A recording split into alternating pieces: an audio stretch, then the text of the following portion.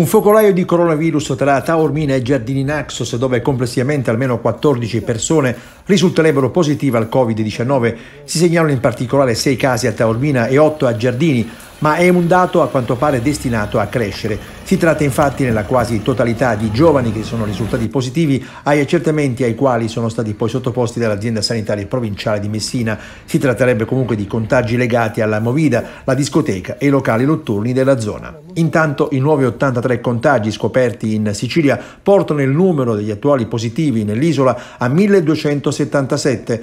L'altro ieri erano stati 1152, di cui 1139 in isolamento domiciliare, 76 ricoverati in ospedale con sintomi, più 5 rispetto a ieri, e 12 gravi invece in terapia intensiva.